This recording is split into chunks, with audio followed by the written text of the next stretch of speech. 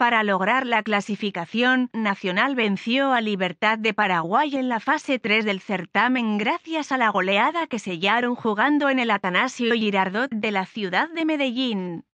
El resultado final fue 4 a 1 y eso fue suficiente para revertir la derrota que sufrieron en Asunción en el duelo de ida y darle un giro completo a la serie tras derrotar a Libertad. El cuadro verdolaga se aseguró su lugar en el grupo F de la Conmebol Libertadores 2021.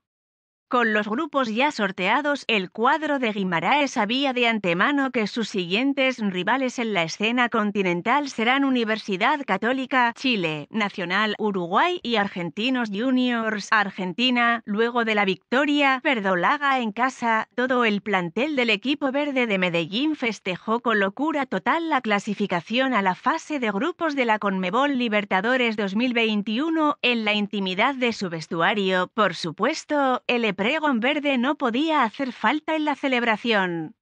Y comandados por Jefferson Duque, Andrés el Rifle Andrade, Harlan Barrera y Aldair Quintana, el resto del plantel se unió a una sola voz y con camisetas en sus manos comenzaron a corear una de las canciones más tradiciones con una dedicatoria especial a la hinchada, Verdolaga.